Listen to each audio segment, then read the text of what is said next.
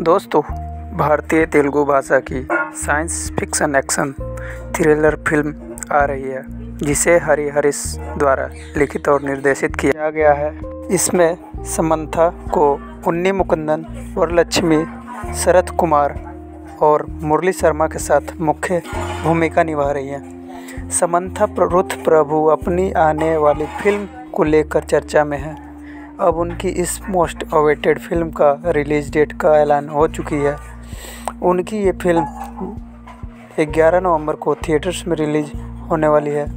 Shri Devi movies के banner तले बनी इस फ़िल्म का निर्माण शिवलेंका कृष्ण प्रसाद कर रहे हैं। ये एक बड़े बजट की फ़िल्म है, जो कि एक साइंस फिक्शन थ्रिलर फ़िल्म है।